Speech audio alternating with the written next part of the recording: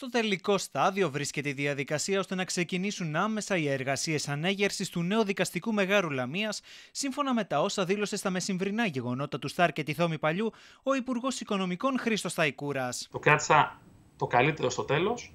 Την Δευτέρα έχουμε διυπουργική ΣΔΙΤ και μέσα στα έργα τα οποία θα συζητήσουμε είναι τα δικαστικά μέγαρα όλης της χώρας, είναι και το δικαστικό μέγαρο Λαμίας. Μετά Μεγάλη είδηση αυτή. Πολλούς, μετά από πολλούς μήνες προσπάθεια, mm.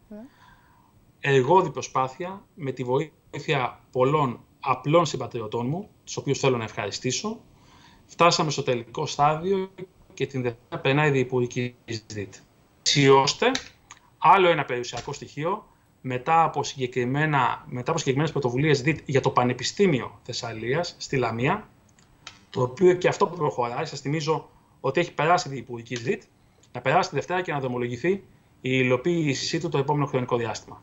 Το θεωρώ ότι είναι μια πολύ σημαντική εξέλιξη για την περιοχή και ένα αίτημα της τοπικής κοινωνίας και του Δικηγορικού Συλλόγου που έχετε από το πολύ βαθύ παρελθόν. Την ικανοποίησή του για την απόφαση εκφράζει ο πρόεδρος του Δικηγορικού Συλλόγου Λαμίας Θανάσης Μακρυγιάννης, κάνοντας λόγο για δικαίωση των κόπων τους, ώστε να αποκτήσει η πόλη ένα σύγχρονο δικαστικό μέγαρο. Ναι, πράγματι πρέπει να πω ότι μετά τις τελευταίες εξελίξεις, μια τεράστια προσπάθεια από την πλευρά του Δικηγορικού Συλλόγου, ε, τουλάχιστον ε, από το 2014 και μετά, ε, κάναμε μια προσπάθεια συναντήσαμε όλους, προσπαθήσαμε να πείσουμε, να βρούμε που είχε σταματήσει το έργο, πώς μπορούσε να ξεμπλοκάρει. Τελικώς ε, η προσπάθεια αυτή φαίνεται ότι έχει έσει ο τέλος.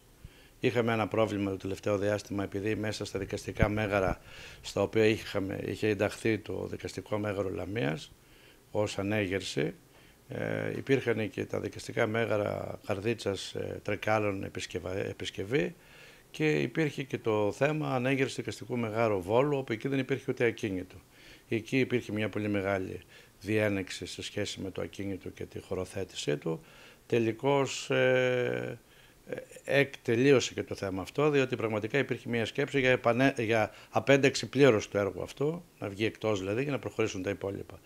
Ε, συνάντησα πράγματι το, το Σάββατο τον ε, Υπουργό Οικονομικών, ο οποίος ε, αγκάλιασε την ε, προσπάθεια αυτή από την αρχή, κατάλαβε πόσο σημαντικό είναι το έργο αυτό για τον τόπο, όχι μόνο για τον Γεωργικό Σύλλογο, για τους πολίτες ε, και πραγματικά έχουμε φτάσει πλέον στην ε, διυπουργική, η οποία θα γίνει τη Δευτέρα, όπου και θα περάσουν όλα τα έργα μέσω ΣΔΙΤ, δηλαδή μιλάμε πλέον για μία ε, φάση επαναδημοπράτησης του έργου. Θέλω να πιστεύω ότι μέσα στο 2021, φέτος δηλαδή, ότι θα έχουμε την επαναδημοπράτηση και την έναρξη του έργου.